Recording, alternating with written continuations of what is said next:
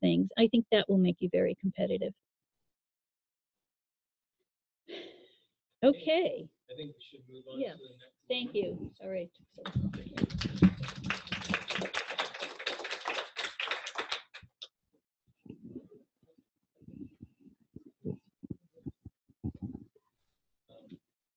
All right, so I, I won't, uh, I'll only briefly introduce uh, Jennifer Trotoux, who works for ARG Conservation, and she will present a larger New Markets uh, tax credit, I guess a blended project, right? Um, yeah, blended. Um, sorry. Uh, blended tax credit project along with uh, low income. Okay. Uh, so Jennifer, feel free. Okay, thanks, John. Uh, hello, everybody. I'm really happy to be here because I love to talk about this project, and um, tax credit projects are really one of my favorite things to do. Um, I think part of that is because a lot of the work that we end up doing, like CEQA reviews and things like that, the, the objective is not how do we do the best um, adaptive reuse or the best rehabilitation that we can do, but how can I not meet this threshold and end up violating CEQA? So this is really much more rewarding because it's a very long-term relationship that you end up in with the building, with the developer, with the architect, and you really get a lot of time to sort of work out the details of the of the project as it's going through construction, as it's going through the documentation process, and above everything else, it's just highly collaborative. So I think that that's what makes it rewarding for me um, as a consultant. So um, this is a project that Architectural Resources Group had in our office from, I think I went to the first meeting in the, uh, the end of 2011, and then we were in it for a good four years after that. This was a, um, a five-year phased project, which I'll talk about. So the building is um, located right here. It's a former hospital. And uh, you can see this is Hollenbeck Park in Los Angeles. This is Boyle Heights. The LA River is kind of over here, and this is the 5 freeway. So if you get off at the 4th Street exit and then go south along the park, that's where you end up. You've probably even seen it from the 5 and not realized what it was.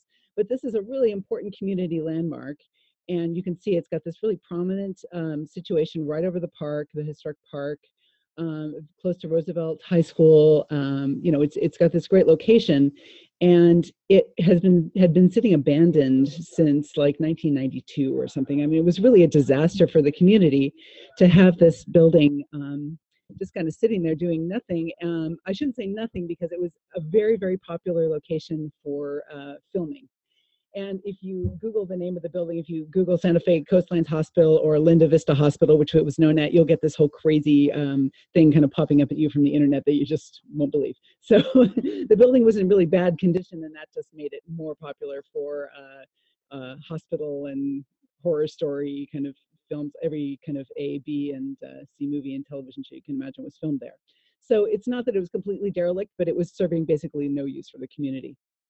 Uh, and it was a bit of an eyesore and it was dangerous frankly because people were trying to get in there at night and do like you know haunted adventures and things like that so um, the building started out in 1905 it was constructed um, you can see this is hollenbeck park in the foreground here and here that's uh, santa fe um, sorry uh, uh st louis street right in front of it um, this looks very different than it looks now because this is the 1905 building which eventually burned down so in this isn't what this isn't the building that we were dealing with. Um, the building that we were dealing with uh, is this building here from 1938, which replaced this building. These are two views from similar angles, so you can sort of see uh, how it changed. Um, so what had happened was it had been built in phases.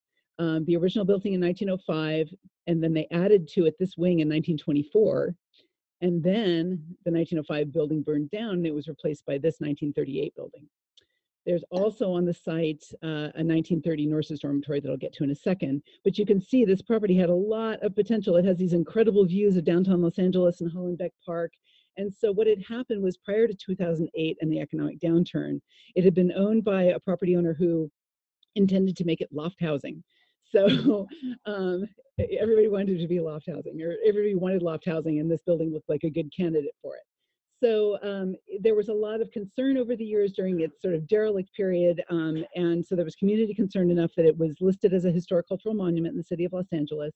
And then this developer who wanted to develop loft housing and do a tax credit project ended up getting it listed on the National Register of Historic Places. So that was already in place. Um, because the first question you always got to ask with these with these projects is, do I have a building that's eligible for the National Register? Because that's the only ones that are eligible for the tax credit. So, um, yes, Yeah. Eligible or listed? eligible.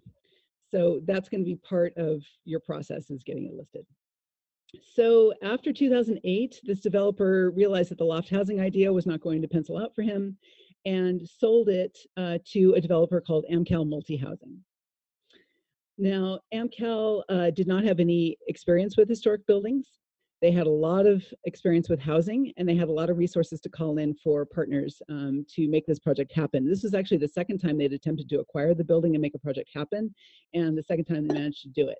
So Amcal had as their architect um, KFA, who are very, very deeply experienced with um, housing, obviously, but also with uh, um, historic um, adaptive reuse projects and with uh, the tax credit project. So they already knew what the parameters were. They knew what was going to fly and what wasn't. Then their whole approach to the project was sensitive to the fact that it was a historic resource. So um, they brought in KFA. I actually called us and brought in ARG as the preservation consultants. Uh, they do their own contracting. So Am- Amcal General Contractors was the contractor. And then they had a nonprofit partner, which was necessary because of the low income tax credits, and that was the East LA Community Corporation. So there was a lot of investment from a lot of people in this project. So um, this was actually a public private partnership, and there's a long list of all the funders that helped to kind of make this whole thing feasible. The Federal Neighborhood Stabilization Program funds came in. Federal Historic Preservation Tax Credits, which we'll talk about, state administered low income housing tax credits, local tax exempt bonds issued by the City of Los Angeles, local affordable housing trust fund administered by Los Angeles Housing and Community Investment Department, and also private equity from Union Bank and um, JP Morgan Chase. So it took a lot of, uh, there's a very complex structure here. And I was thinking as Chris was talking that this is, you know, any tax credit is kind of like a big polyhedron where you're only looking at part of it. And there's all kinds of facets of it around the back that you're not even seeing. And they would hand me these numbers and I, would say, well, you know, what's your QRE total? And then they would somehow come up with it. And I think, well, I don't know how they did that, but I'm really glad I didn't have to get involved with that. So uh, really just knowing your team and knowing that you've got people you can rely on, whether it's attorneys or tax specialists or whatever, to kind of make all these things happen uh, is really critical. So um, the uh, this was a phased project, as we mentioned. Um, a phased project has to be completed within 60 months. So from the time that you start construction to the time you get your certificate of occupancy, um, you have uh, you have 60 months to do it. So phase one was a um, let's see. This is this is phase one down here. The um, this is the nurses' dormitory that was part of the property.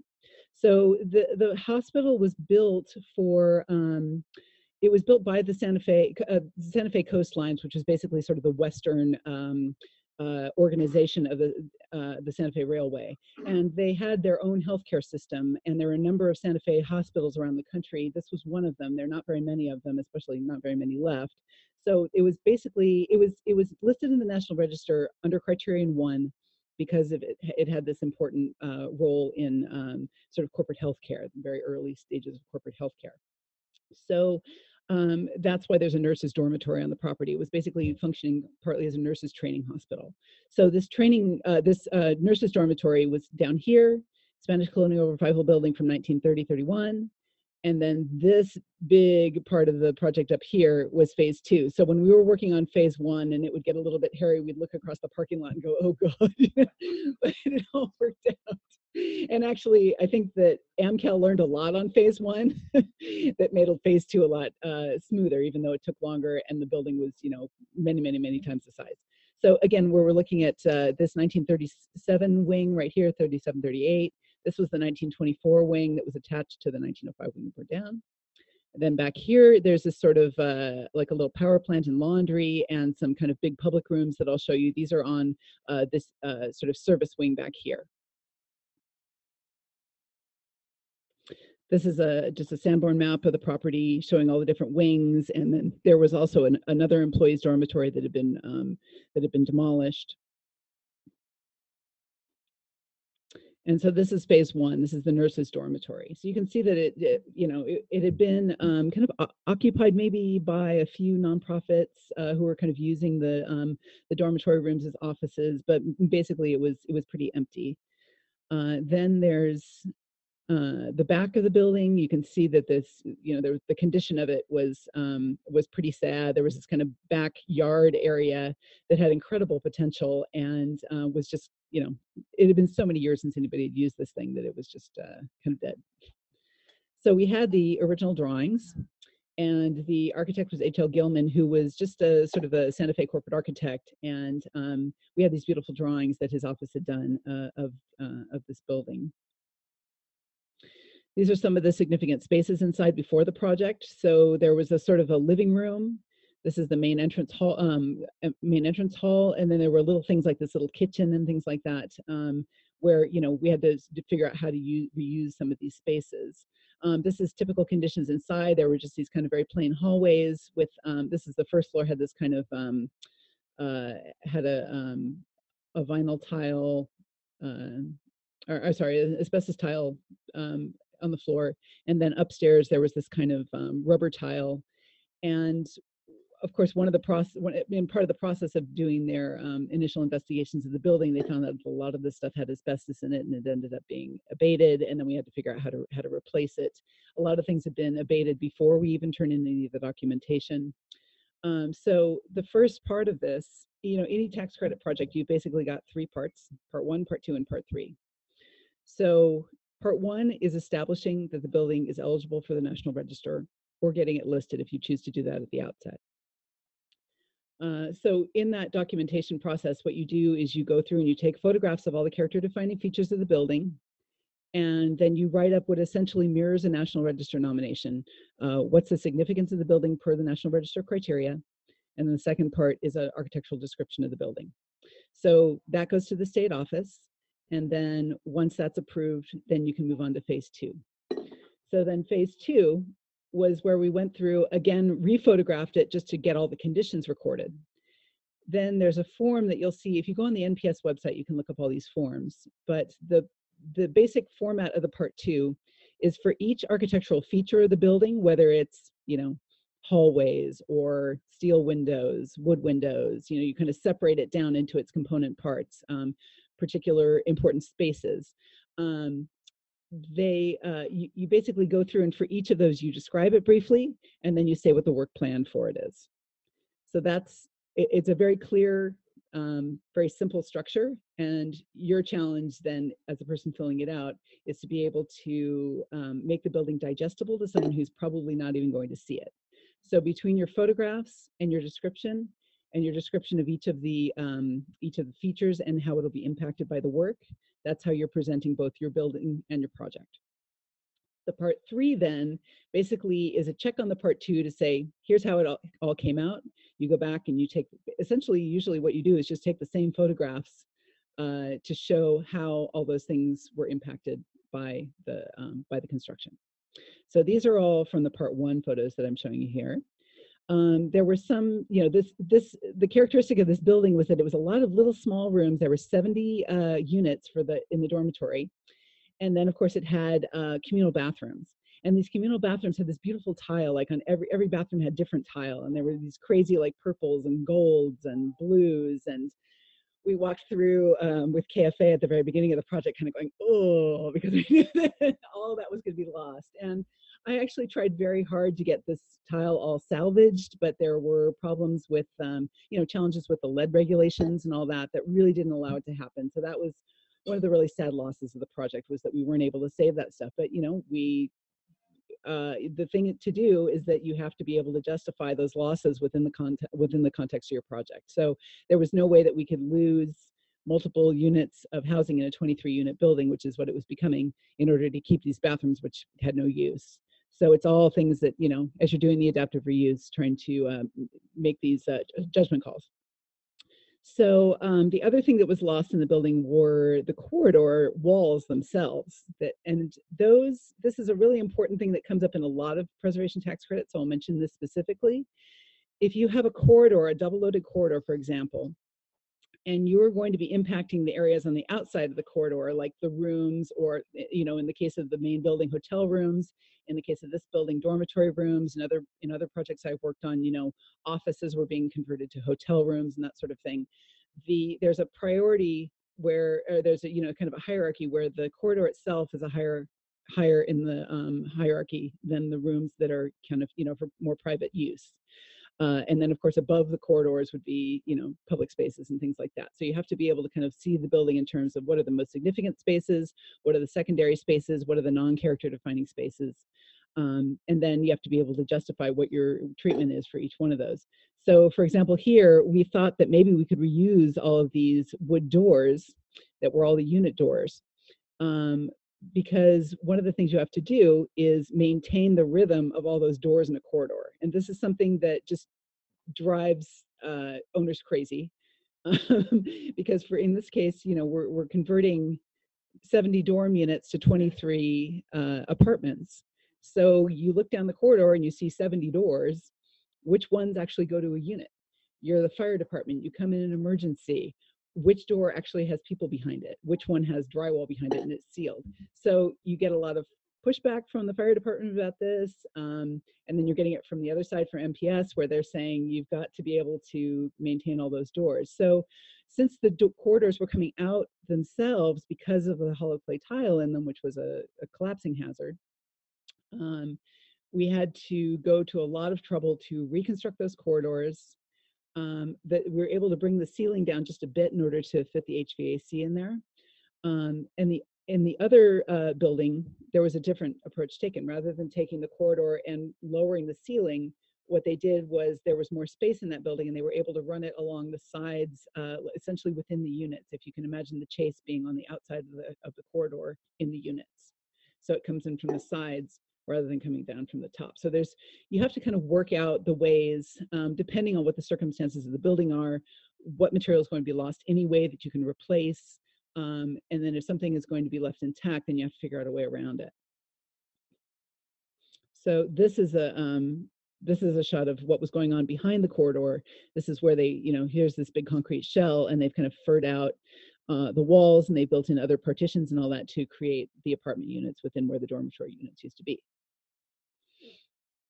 So some of the issues were this re reconfiguration of rooms, replacement of the corridors, um, the alignment of doors that I talked about, loss of the tile bathrooms, extensive damage to the roof tiles during their removal. So all the roof tiles that we thought we were going to be able to reuse were cemented together and most of them broke when we took them apart. So we had to decide, okay, what are we going to do with the ones that are left? And we put them in the most visible location. And then we went to a lot of trouble to make sure that the, the color mix of the new tiles would reflect that of the historic tiles and uh, put those back on the less visible locations. I'm going to go a little faster here.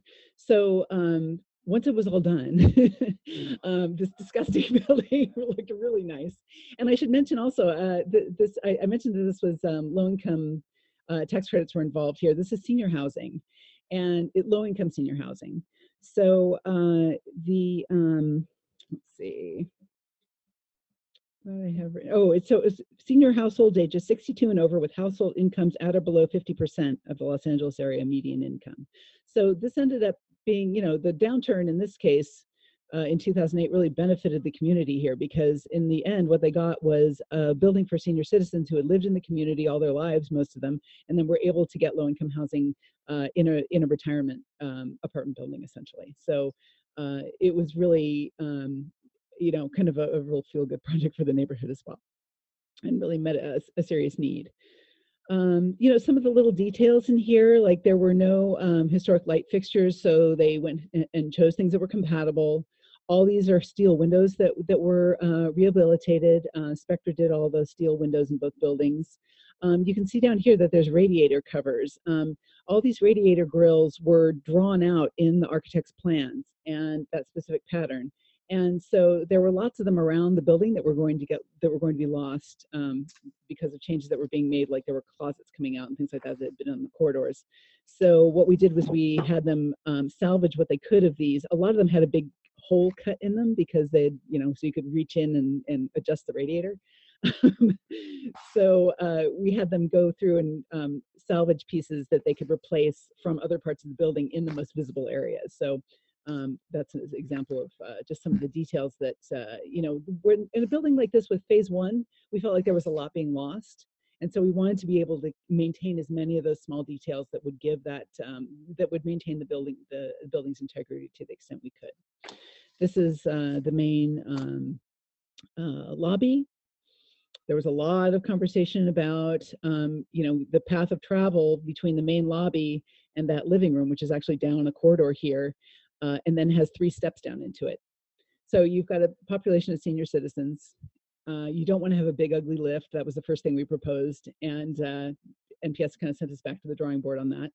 Uh, eventually, the path of oops, the path of travel ended up being that you go through outside. There's a covered patio, and you take that down and come into the to the other room. So it took a long time to kind of get those kind of compromises uh, agreed to.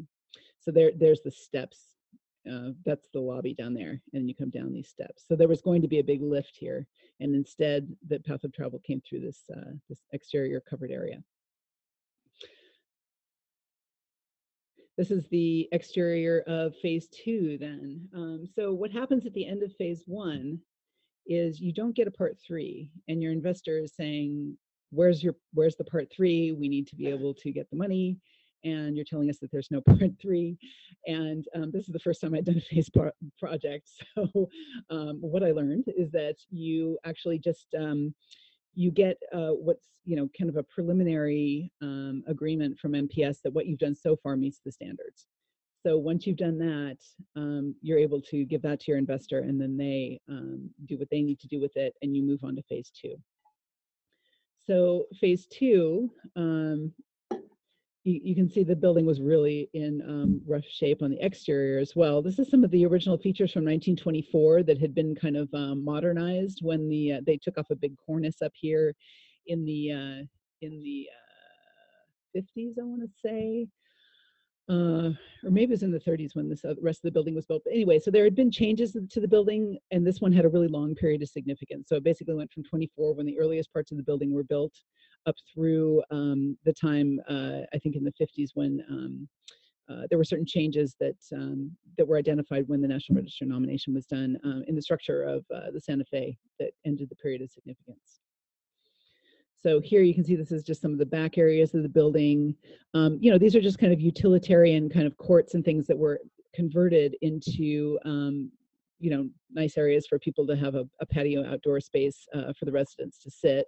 This is that back wing um, where you've got the laundry and the power plant back in here, and then all these rooms that were kind of uh, doctors' dining rooms and uh, patients' dining rooms and all that sort of thing.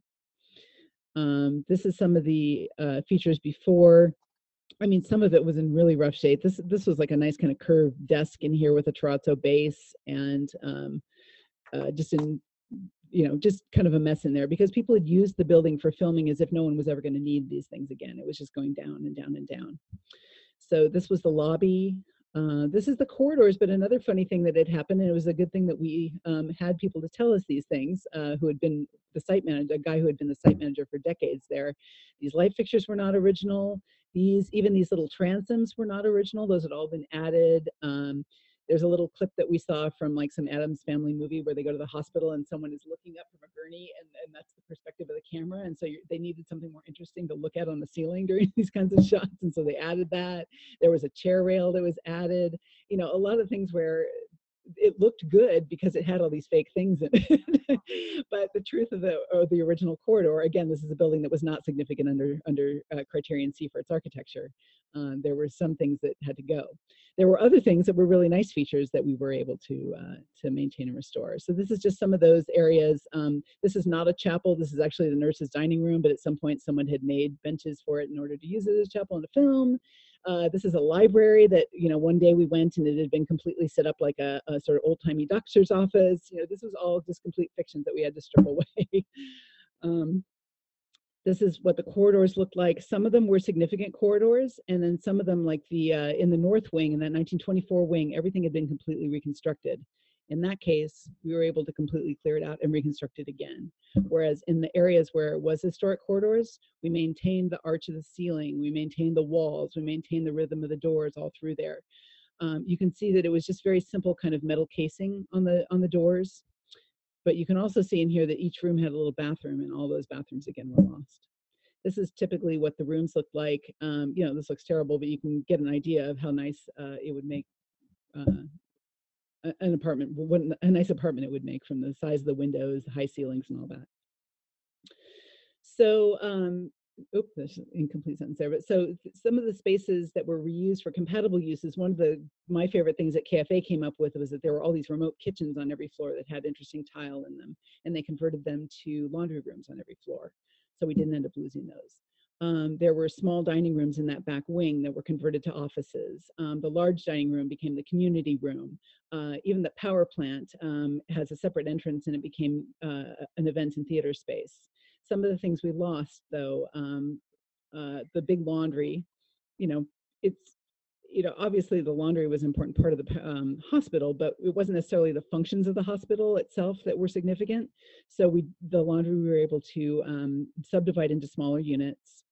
Um, exam rooms, labs, restrooms with the tile, those were all lost too. Um, it's kind of like the bathrooms in phase one. You know, they were important to the interpretation of the building, but in the end, uh, we were able to justify for the sake of the adaptive reuse that some of the, a lot of those things had to go. But then we balanced it out with things like, you know, remove um, keeping those kitchens. So here's some of those spaces. This was all lost, and here these are kind of like uh, exam rooms that had um, glass block, and you really couldn't convert those to apartment units. And we tried because you can't run plumbing through glass block. You can't run electricity through glass block. And, you know, so we eventually had to make a case for it. We documented it fully, had a long conversation with them. And that's where it ended up was that we were able to, to remove some of those things. Um, and, you know, as you're going through the project, you sweat all this stuff a lot and it keeps you up at night. But in the end, you know, you got to keep looking at the, at the bigger picture and what, what you're going to be able to save in the end. So the, this is an example of what these um, uh, uh, kitchens looked like that were converted to laundry rooms. And then here they are after. So you can see that, um, you know, here on the wall, some of the tile was still there and some of the tile we had to infill. And NPS came back and said, well, you've got two slightly different colors of tile in there. And we said, well, we have two choices. A, we can rip out all the tile and have it all be new and all match. Or B, we can just leave holes in the wall where, you know, I mean, it wasn't, it just wasn't practical. It was actually from the same manufacturer and the same color and all that, but it was just slightly different. So in the end, they said, okay, close enough. Um, so all that tile, floor tile and that colorful wainscot and all that was was saved uh, on each floor, um, all six floors for these. This is a plan of um, what phase two looked like. Here's phase one over here. And then you can see that uh, this is the main lobby and all these uh, patient rooms became um, became apartments on each floor. And then this is back ag- again where those com- communal spaces are. You've got a garden slipped in here where I showed you that that kind of concrete court. You've got a sunken court down in here that was kind of uh, reinvigorated. Um, this was a building that was not part of the project that's not owned uh, under the same ownership. Um, this is actually like a garden area now. They took down this building. This was non non-contributing. So one of the big problems we had again with the hollow clay tile, we had this um, system in here that was all terracotta tile, um, but it, it was like a sort of a white base. The the clay base was um, was uh, sort of a, a grayish clay, and um, then you can see the hollow clay tile behind it. So this was not self-supporting; it was actually attached back here to this hollow clay tile. So this is a, a kind of a main corridor that went down to the to historically to the kitchen and has some of these big um, uh, dining spaces off of it. But this is a main egress route, so they couldn't have the ho- hollow clay tile remain on it. On the other side of this wall is just plain plaster, and so we thought, great, okay, what if we just put up a membrane on that side that's supposed to hold the hollow clay tile? But the problem is, if it falls this way, then it is then it blocks the corridor. So in the end, this entire corridor ended up coming out, which was really kind of tra- traumatic for everybody. But when we went back in, this is what it looked like. So we spent a lot of time. Um, my advice to you is if you have tile to replicate, go directly to Malibu Ceramics. Do not Pesco. Yeah, just go directly to them. Talk to Bob Harris. Do not mess around because you chances are you're going to put in a custom order anyway, and they will come up with a, a matching glaze. It, it was quite amazing what they were able to do. So these are some of the glaze samples that we looked at along the way as they were developing this. So again, you can see this is the old tile. Um, some of the details we had to change a little bit, but this is the way that hallway came out. Um, the floor was saved, uh, the tile is all new, and it was just um, unbelievably similar to what was there originally. Uh, this is that big space down there in the bottom that uh, we were talking about that became, this was a sort of a power plant. I didn't have a good uh, picture of it with all the equipment in it because you just couldn't see anything in there. It was so thick with equipment. So this is once it was cleared out. Uh, and then they added this staircase, which was a bit controversial um, in order, it comes down through here in order to get people down onto this main floor. And then they completely cleaned it up. They saved the staircase here, repainted it. Uh, all these windows um, were rehabbed and all of the um, wire glass here, they found a matching wire glass uh, at salvage and were able to, like 80% of the glass was broken. It was unbelievable. Um, and they were able to, to salvage and match that.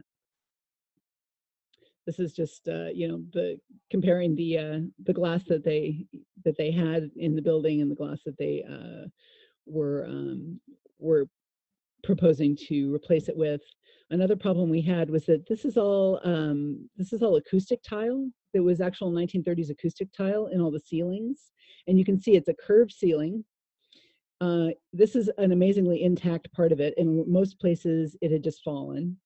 Um, and with the glues that are available today, you just can't get this stuff to stick. And to try to find a product that would approximate what the original texture was was almost impossible. So we tried that route for a while, and then in the end, um, we decided to go with uh, um, an acoustic plaster. So then there were a lot of really, you know, bad misfires trying to get the acoustic plaster to match. And fortunately, this is only about 20, 25 minutes from my home and office. So I would go over there frequently and they look up there and say, no, no, no, no. And then they would try again. And I would keep coming back to the site. But they really, you know, they really tried. And eventually they got it right and it looked really good. Um, you know, of course, the, the lumpier it is, the better its acoustic properties are. And that was not going to work for um, approximating what we had originally on, on the ceiling. So here's the building completed. Um, the uh, you can see that all this um, original material here on the sort of walk up to the building is all intact. There are steps here around the back of this wing. There's a big ramp that goes up on the parking lot side. So the um, the main access point is actually through the back of the building uh, and goes into that wing where all those public rooms are. So it's actually not um, like a back door. It's it goes into sort of a major part of the building. This is an area down in front that was uh, completely deteriorated in terms of the paving and all that. Um, this is sort of a secondary entrance. All the features from around this had been removed. Um, the paving was in terrible shape. Landscaping was kind of non-existent. Um, this is that area after they rehabbed it. So you can see all the curb lines and the um, uh, the planters and all that are the same. They came up with a very simple solution for how to frame out that door. Uh, put in just a very simple compatible paving that has a, just a little bit of a score in it. Um, so that, that this was where the ambulances would pull up. This is, again, that exterior, uh, and then this is after. They pulled all of the um, paint off of the stonework that was framing the 1924 part of the building. All of this area here, this whole base of the building actually was uh, um, all of this is stone now that was exposed um, that had been painted for many years. Of course, when they took the paint off, they saw it had terrible graffiti markings on it that were really difficult to get out, but um, they did a fantastic job getting those out. The main lobby, this is what it looks now. Um, so this was, you know, it was just kind of like all of this uh, terrazzo down around the bottom was all discolored and broken and all that. Um, they had water leaks in through here. Um, this is just like a contact paper finish on here. um, so then uh, the the designer of this um, project was uh, the uh, interior designer was um, Joe Carmen, and she just did a really wonderful job of making it actually feel less like a haunted hospital and more like someone's home, which is just really quite a job. this is before. This is in the main lobby. This is kind of looking into that same area after. This is those men are sitting like right here in this in this next picture. So all of this wood is original. You can see like there's this big scratch right here. That's kind of the only thing that they really couldn't get out. So they did an amazing job of um, uh, getting all this wood cleaned up. It has this little inlay detail, and um, they just did a great job on that. And then just you know put down a simple rug and some curtains and new light fixtures, and really kind of made it uh, made it feel much more comfortable in there. Uh, this is that lower area where I showed you that doorway where the ambulance, when the ambulance turn around, um, when you came in through that doorway, this is what you saw. And this is how it ended up afterwards. So you can see that they saved that whole terrazzo base. They saved the wood counter, the terrazzo base back here. And then all this flooring is uh, marmoleum, so that's new throughout. And it replaced a lot of the flooring materials that, some of which were hot with uh, asbestos. And then they also made this kind of an entry uh, where the residents' mailboxes would be and that sort of thing. This is that um, nurse's dining room. You can see it has this nice um, scored concrete floor. This part of the beam was original. This part had been added for a movie set. These had been added for a movie set. This thing was not original because there there is no uh, exit door there. This is what was behind that. This was hiding behind that fake door. So it's an, an actual original plaster and tile feature with this multicolored tile on it. So um, I mean, this is the, the whole ceiling had been covered with um, it was black and it wasn't from cigarette smoke over the years. It was one particular um, shoot where um, someone came like you know came rolling through the uh, the room with some kind of fireworks going off and it was the pyrotechnics that had created the blackness on the on the ceiling. So they had to they had to fix that. They had to erase all that literally erase it with erasers and then uh, this is another space uh, that another one of those spaces in that same corridor. This is a, a false wall that had been inserted in there, and uh, so it was, it's it's actually the room is actually three bays wide, and one of them is a doorway. But this this wall they took out that wasn't originally there, and restored the full uh, volume of the room. But you can see along the way it was um, uh, in pretty bad shape. And then once they cleaned it and painted it, this is the ceiling here. There's those two windows, and then this is where that that uh, wall had been inserted. So now the whole volume of the room. This is again another one of those little tile features. Uh, this is an exaggeratedly bad corridor. Again, this was from uh, from movie set use. They didn't all look this bad, and now all of them look like this. So it really, um, you know, they took a, a little bit of design liberty with these um, the pattern in the flooring. I think part of this had to do with kind of trying to orient people and also just to kind of give a little bit of life to the corridor. Um, but you can see here, this is that um, that treatment on the ceiling uh, that replicates essentially that um, kind of uh, reveal that was around the edge in the um, in the pattern. So I mean, in the uh, in the ceiling, the tile. That's uh, just a typical elevator lobby before and then after. So they all have these nice, you know, very generous spaces at, at, at each elevator, uh, looking out over the neighborhood. The views of the neighborhood here are wonderful too. And that's uh, phase two and phase one of the project. I'd be happy to answer any questions about it. Barbara. Oh. Um, for the, congratulations, Thanks. congratulations. It's a brilliant project. We're all really proud of it. Thanks. I'm sure. Um, a couple questions. Um, for phase one, the doors in the corridor Yeah. problem, um, how did you um, end up reconciling that? And number two, I wasn't clear exactly. I mean, I heard about the hollow clay tile, but Mhm. the overall structural system Mhm. of both buildings would be Uh, helpful. both buildings were poured in place concrete. So they actually, um, the shell of them was very strong and, you know, perfectly sound. It was just the infill walls that we had trouble with. So um, that's that's where we had to address some problems. Um, it was not a problem on phase two in the corridors, but on phase one it was. So what we ended up doing on phase one is part of the problem was the hollow clay tile. The problem with not being able to reuse the doors is that the doors were probably a half an inch too narrow, even under the state historic building code for for um, wheelchairs.